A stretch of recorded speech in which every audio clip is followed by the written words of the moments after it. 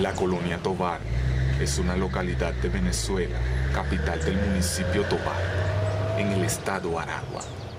Fundada en 1843 por un grupo de inmigrantes proveniente del entonces Estado Independiente de Badén.